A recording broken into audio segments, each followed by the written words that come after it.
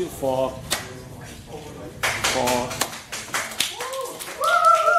Okay, so, so the topic for today is cleaning up the app delegate. So it's um, so app delegate sounds very boring. So uh, so I think the organizer asked me to contribute a small talk. So I thought of this one. I think it can be helpful for you guys. So about me, um, here's some information about me. Um, I'm a principal software engineer at SP Digital, um, the iOS team lead there. I like to bring Agile into the iOS development space. And as what Vina said, I'm also a Tech Talk contributor in this meetup group. So here are my uh, the tech talks that I've given. The more recent one is uh, about in the iOS conference about the having um, localhost servers to run with your XUI test. So okay, so for my talk today, I need two volunteers to help me out. Can I have two volunteers? Okay, Vijay. Uh, one more, one more. Ah, sir, you look, you look good. Can I volunteer? Okay, uh, Vijay. So I just sit over here.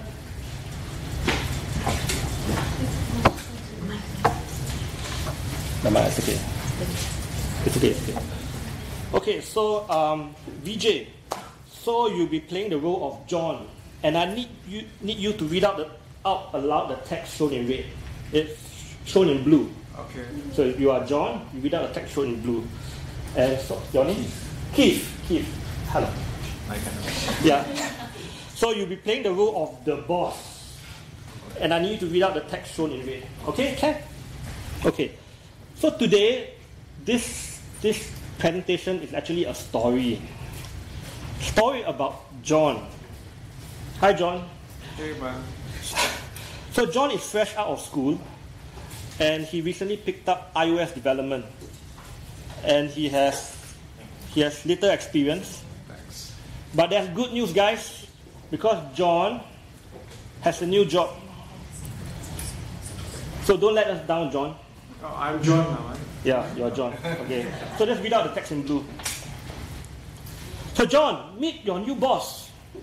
The boss. Okay, you just read out. Oh, John. No. The boss, the boss, the boss. Welcome aboard, John. Uh, but then, who's supposed to read?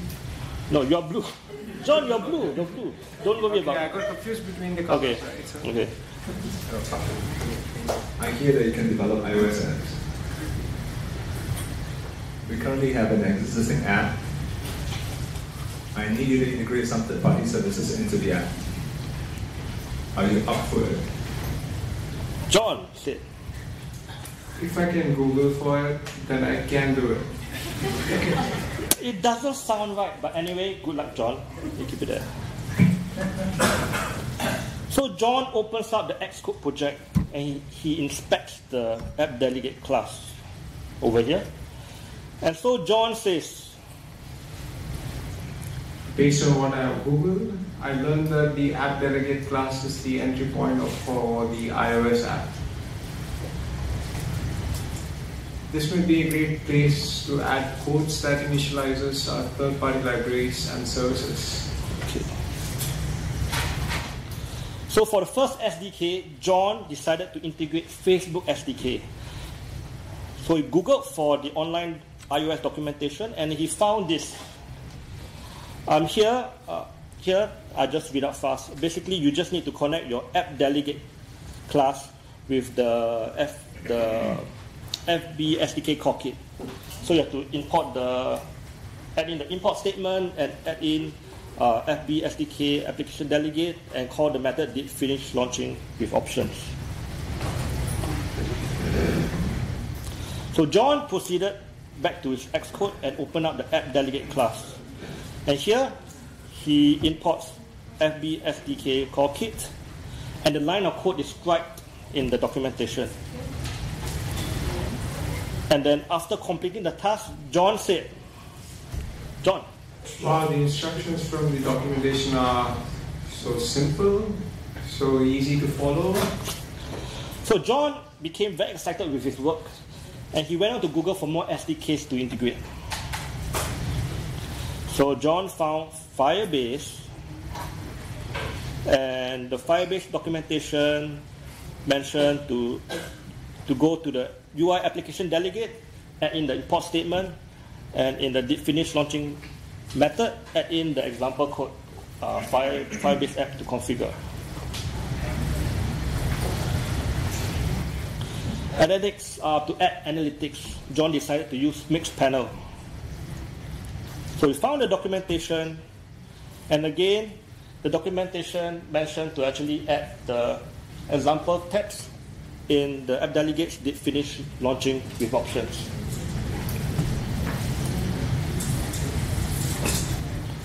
So John also knows uh, it's essential to have crash reporting feature. So he decides to use Fabric. He Googled for the documentation and then he, it, it, um, he, he reads it. And again, the documentation advises John to go to the appdelegate.swift file and in the finish launching methods add the example code, which is fabric.with Crashlytics.self.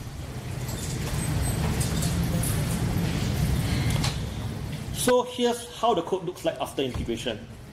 So you have the import statements at the top, and then in the finishing launching methods, um, the example code, basically to initialize the different SDKs, all in the app delegate. So after that, John said, adding import statements, adding lines of codes, adding integrations to app delegate is so convenient.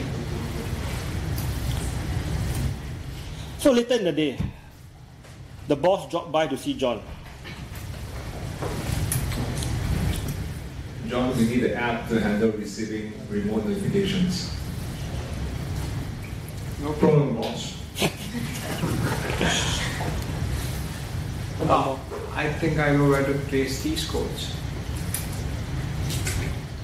So John goes back to the to the app delegate and he imports like user notifications and as well as um, to request for authorizations over here in the finishing launching methods. John also created a push notification manager class and he adds that to the app delegate. So in the protocol methods, uh, they register for remote notifications, they receive notification. He will pass the payload, the device token, or the payload of the in user info to the push notification um, manager. In additional, um, John also implements the U, UN user notification center delegate and adds the setup codes over here. So note all these codes are placed within the app delegate definition. And the class is getting bigger and bigger, more codes are spread across different functions after completing the task. John said, oops, oops.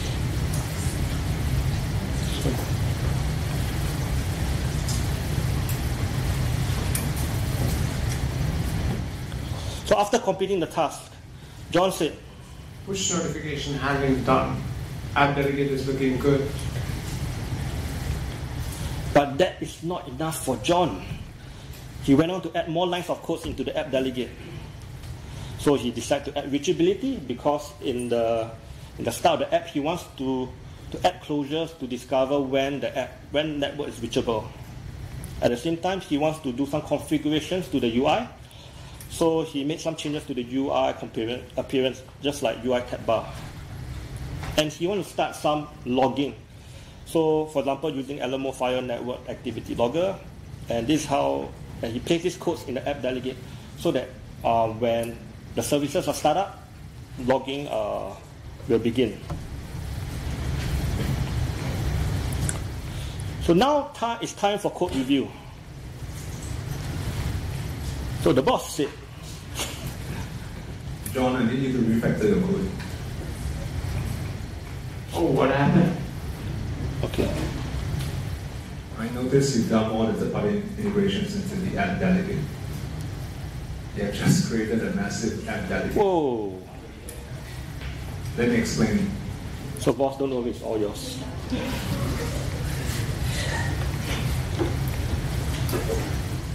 App delegate has too many import statements.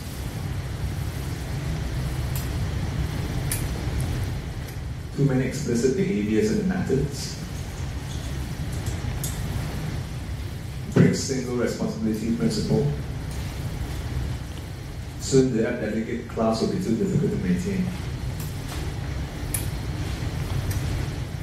And John asks,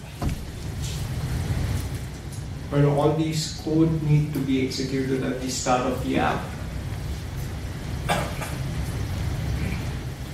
Well, these features do need to be triggered at the beginning, but the features themselves are not dependent on each other.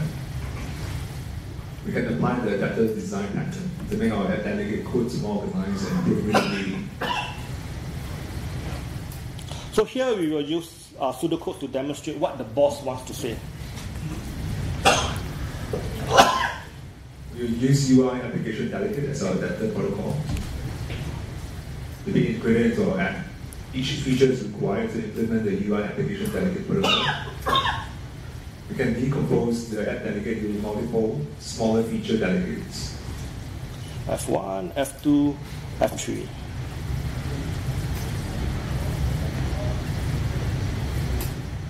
In our main app delegate, we declare, we declare an array containing our feature delegates. In our protocol method, we will look through the array of features and trigger the corresponding method in each feature delegate. Ideally, the order of the feature delegates should not matter.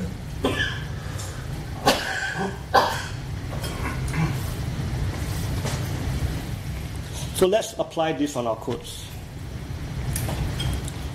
So the first one, we have the Facebook SDK. So what we do, we create a, a, a class that implements our UI application delegate, and we only put in the codes related to, to Facebook SDK, like the import statement and the lines of code related to that. We do the same thing for the other for other features, uh, like Firebase and Mixpanel, only putting the relevant codes related to that specific SDK or feature to it. So for the push notification manager that John wrote, we can also implement the UI application delegate. And here, um, we add in the finish launching methods uh, and deregister for notifications. We can move our setup codes from the original class over to here.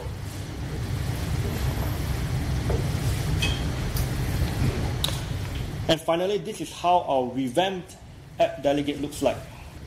So the app delegate still implements UI app delegate. And now it has an instance variable that holds the array of sets of feature delegates, or here we use, we name it services. In each of our protocol methods, UI application delegate protocol methods, we'll look through the delegates and call the corresponding methods of the, of the services. And now, the boss said, this pattern, we now have pluggable adapters. We easily add or remove features from our app delegate. So if you create uh, your own um, class that implements your application delegate, you can now just simply create those class and add it over here at the top.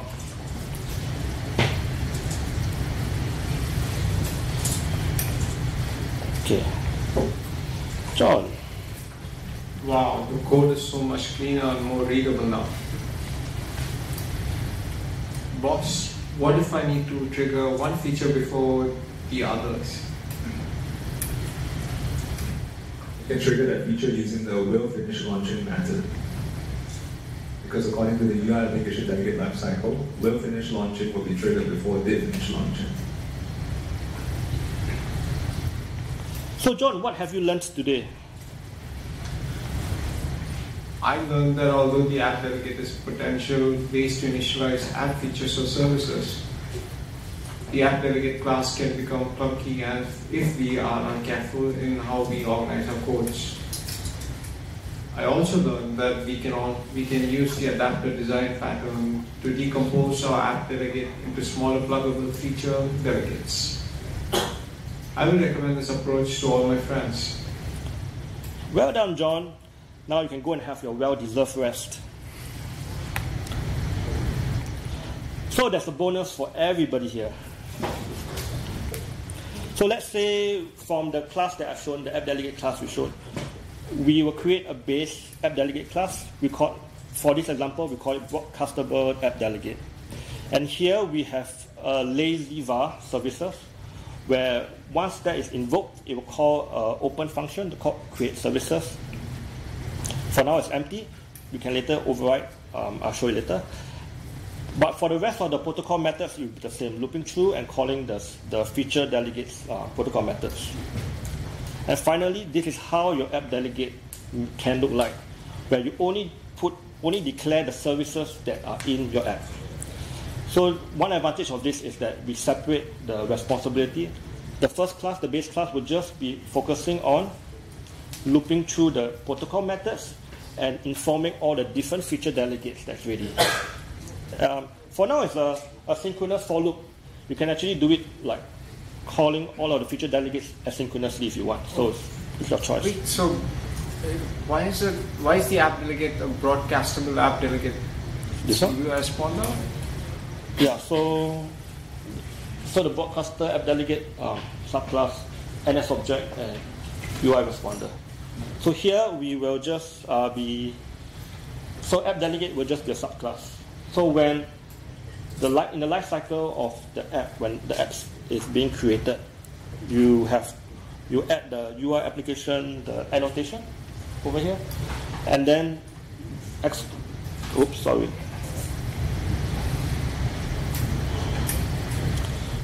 Yeah, so it will create an object of app delegate. I actually forgot what app delegate subclass is. So app delegate subclass UI response responder, does it?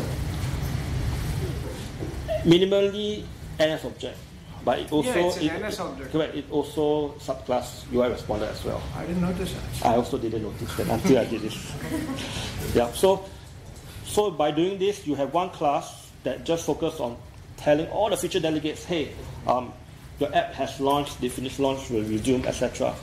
The other class just be focusing, responsible just to declare the services they are in.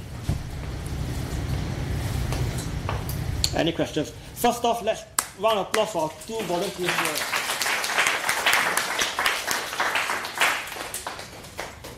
Questions? No, no questions? Oh, yeah, yeah. Uh, why does the FBSDK delegate uh, service needs to be a subclass of your uh, should implement the application delegate? It's just providing a service. So it don't need to be a subclass. True, true, true. It, it doesn't need to. So when I when I was researching this, I was trying to find how are the different ways to actually make your app look, look cleaner. So one way you can actually use composition where you can have the main, you can have one, you can have. Let me go back. Yeah, over here, you can have it all in one class. It's Uh, like you, it should be generally uh, more defined protocol which can be a service, which defines what the pattern of the services will be, and then all the services will implement that that protocol.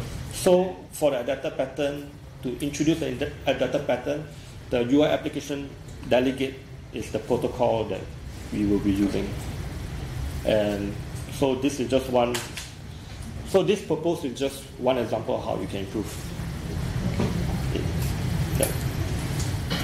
Any other questions?